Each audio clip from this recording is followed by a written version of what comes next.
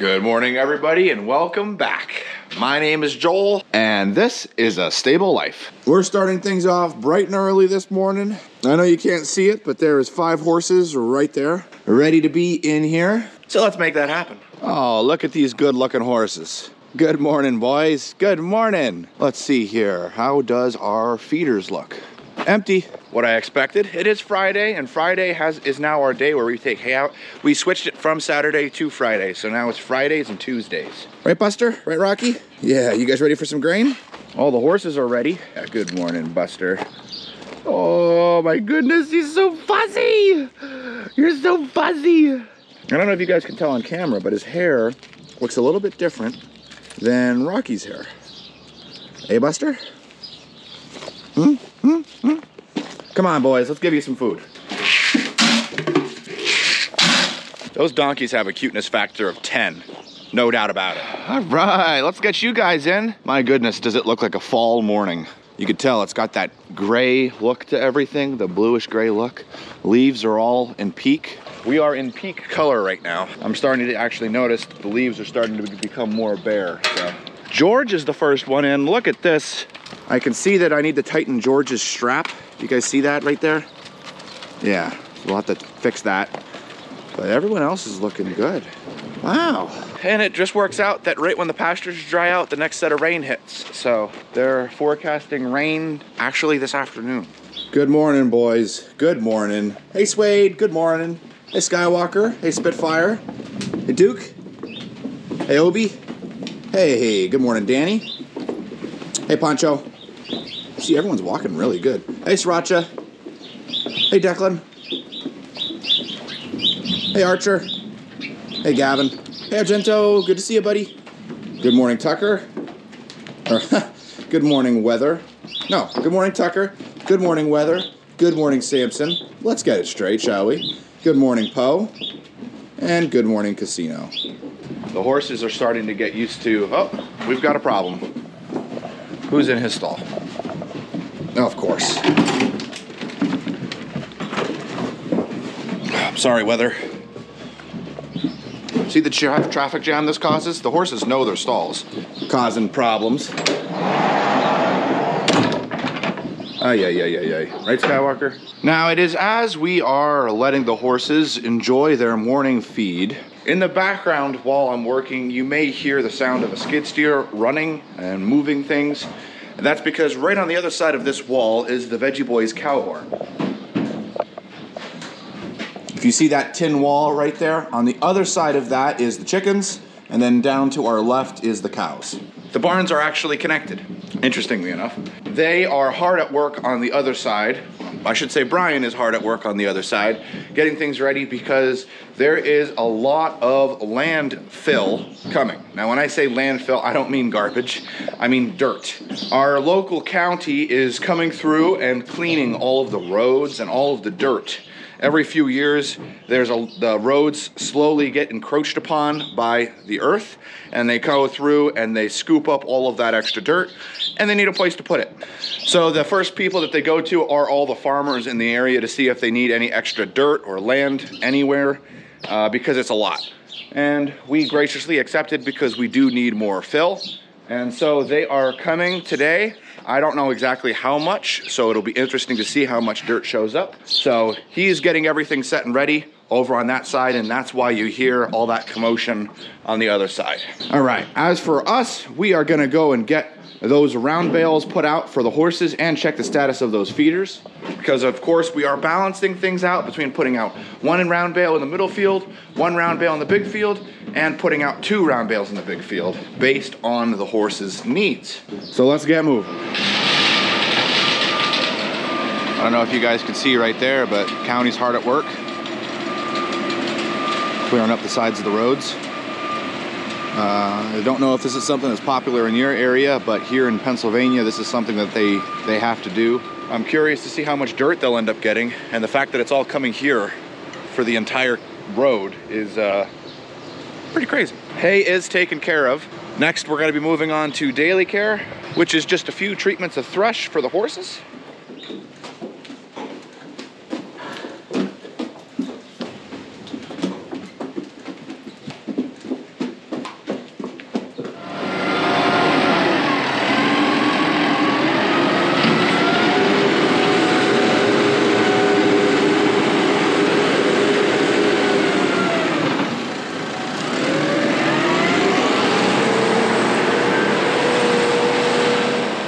Definitely be interested to see how it looks. Here's a good before shot.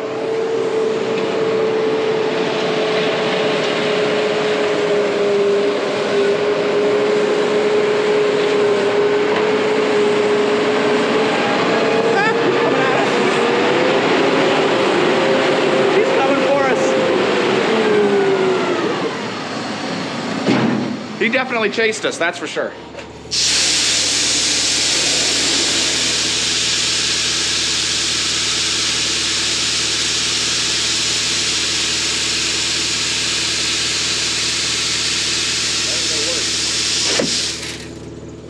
Just a sea of wheat.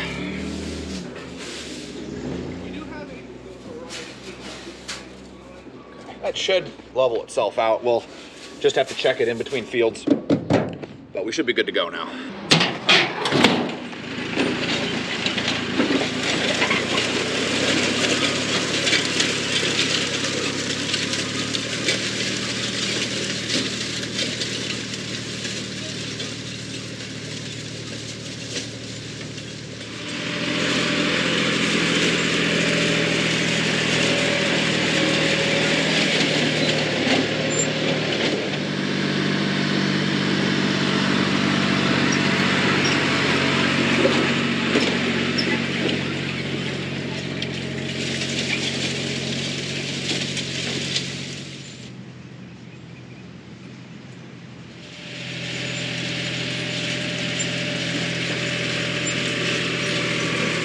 As you guys can see, everything is working up nice. This field actually worked up really nice. Seeder's planting good.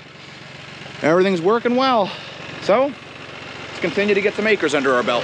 Just something gorgeous about a freshly planted field of huh?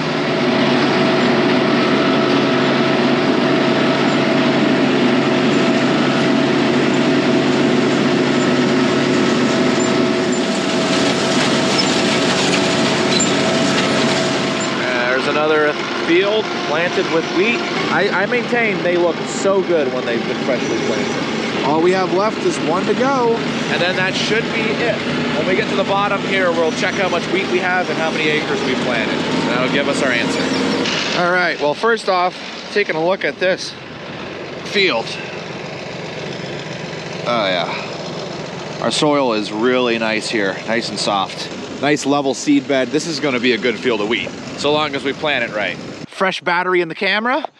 We are on our last field. They just dropped off four bags of seed.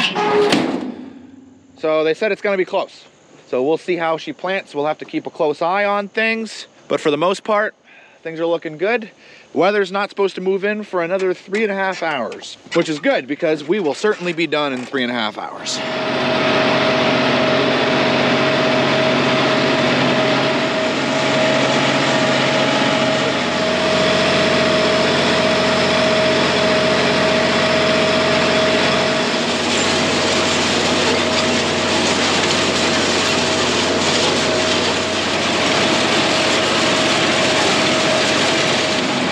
Alrighty guys, that's it. Wheat planting for the 2024 season is finished. And just before the rain, it's starting to cloud up. So I'm gonna take this back to the farm. We're going to clean out the seeder, oil it all up so that it's ready for cover crop because it's still gonna be used one more time this year. That'll be after harvest, so after soybeans and corn, primarily soybeans because we plant cover crop in our soybean field which I believe will be rye. So, good stuff. Boy, does that feel good to have that job finished.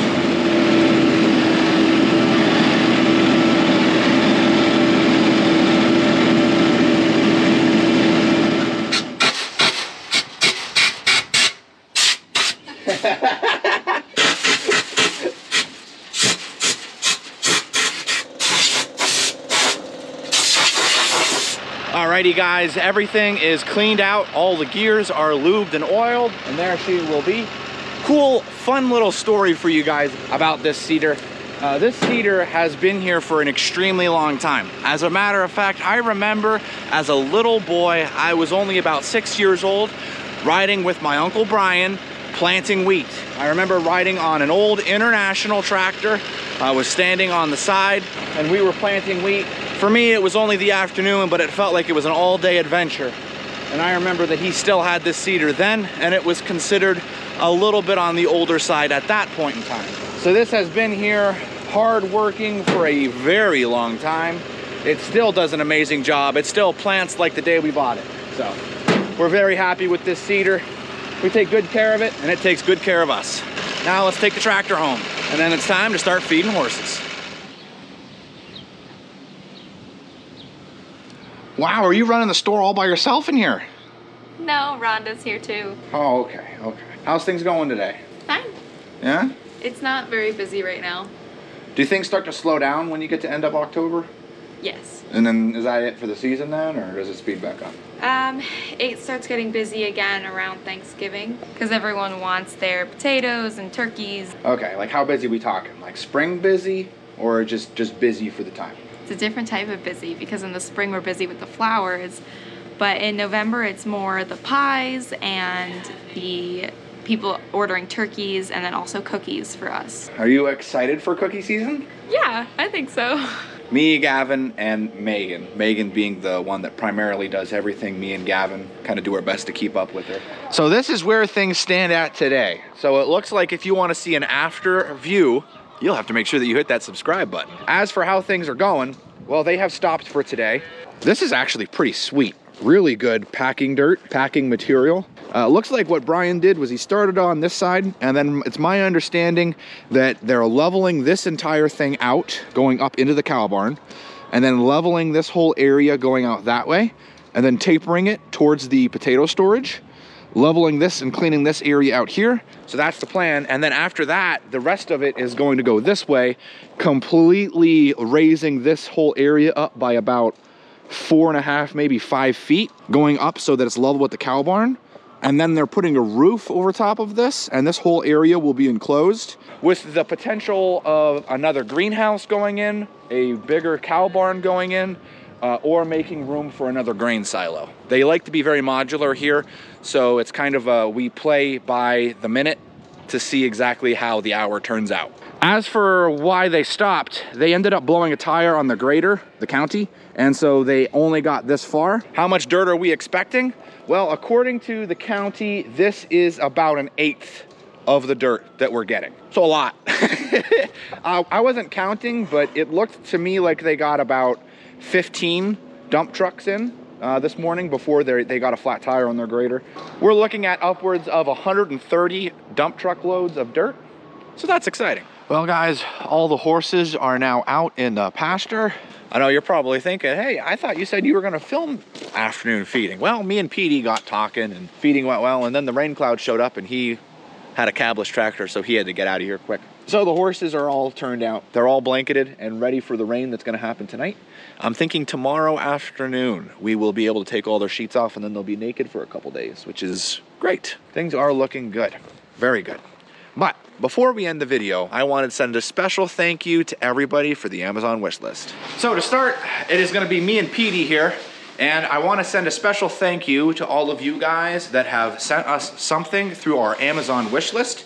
If you're curious and have no idea what I'm talking about, there is a link in the description of every single video to an Amazon wish list of ways that you can contribute to our stable should you want to. Things like horse medicine, tools, or ways that we can all collectively work together on getting bigger tools for the stable or just the farm in general. Well, all of us have really appreciated and, and the amount of generosity that you guys have has been absolutely insane. That being said, let's go ahead and get started sending some special thank yous to you guys. Starting off, we have an Amazon gift card from Mark and Barbie Painter. Thank you so much, guys, and I certainly will make sure that I give Leia a good belly rub. She's awesome and she definitely deserves it. Next up, we have two containers of Banixx from Adam. Adam, thank you so much. It's almost like you knew the wet season was coming up on us and that we were gonna be needing this. we really appreciate this. Thank you. Next, we have some mud shield powder from Popeye, and I couldn't agree more. We do need to keep the mud off of those rumps. And I know what you mean. Don't worry, I know what you mean. Next, we have some more mud shield powder from Dawn. Dawn, thank you so much. We have just started using this again with all the rain and with the rain coming today, definitely gonna be something that we're using again. So thank you so much. Next up, we have not one, not two, But three Banixx from Anonymous. Anonymous, you know who you are. Thank you so much. We really appreciate this. Next up, we have another Amazon gift card from Jason. Jason, this is very generous of you. Thank you so much. We really appreciate this. Next, we have two Amazon gift cards from the Urban family. Thank you so much, guys. This was very generous of you. Next, we have another Amazon gift card from Lynn and Lisa. We really appreciate this very much, guys. Thank you. Next, we have two containers of Banixx Wound Care Cream from Anonymous. Thank you so much. This will definitely come in handy for those hard to reach areas or those quick areas that need effective relief immediately. So thank you so much. You know who you are. Next, we have five Amazon gift cards from Karen. Karen, that was so generous of you and so nice of you to say. I'm so glad that you enjoyed the videos. That makes me feel really good, and it's always nice knowing how much you guys appreciate the content. Next up, we have another Amazon gift card from Susie. Susie, thank you so much. We appreciate this. And I'll take your idea and put it before the family and see if maybe we want to get a bell or a triangle for the horses. Of course, the horses would have to get used to it and know that that is what it is. Interestingly enough, my mom has a whistle that she uses. Not a whistle, but she has a distinctive whistle that she's able to make that the horses respond to and only she's able to do it and they respond immediately when she does it. So I'm the only one that just screams at the top of their lungs. She just whistles. I like her way better, but I can't whistle as loud as she can. Okay, story time over. Thank you, Susie. Next, we have another container of Banixx from Anonymous. Anonymous, this was very generous of you. Thank you very much. Next up, we have a set of custom gifts from the Hatted Horse. Looks like this is hand knitted yarn, and this is designated for Buster and Rocky.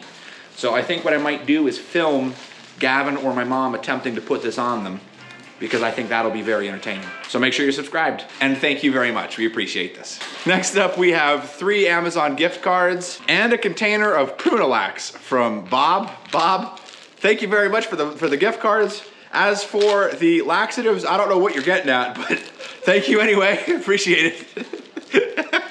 Next, we have another Amazon gift card from Madre de Gatos. Your name I love, and every single time I see it, it always gives me a smile. Thank you so much for your continued support. You have and continue to be extremely generous. Thank you very much. Next, we have another container of Mud Shield powder from Jason. Jason, we really appreciate this gift.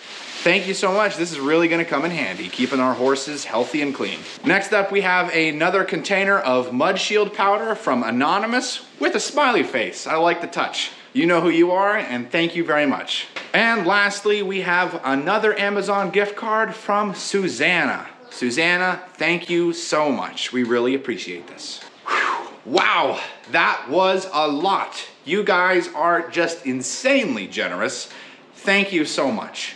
You guys literally make this channel what it is, and all of us at A Stable Life and at The Veggie Boys appreciate everything that you guys have done. Whew, man, that is a lot. You guys are exceptionally generous. Thank you, thank you, thank you. You guys rock. Being that you have made it this far into the video, I would really appreciate it if you hit that like button and make sure that you're subscribed. It keeps you up to date on all future videos coming out here at the channel. we got a lot done with wheat being completed and with potatoes dug. By the way, that, that happened. I never talked about it, but potatoes are all dug out of the ground. Exciting times lie ahead. There's some special stuff that's coming. I'm looking forward to showing you, but that's for another day and another video. Thanks for watching, and as always, I'll see you in the next one.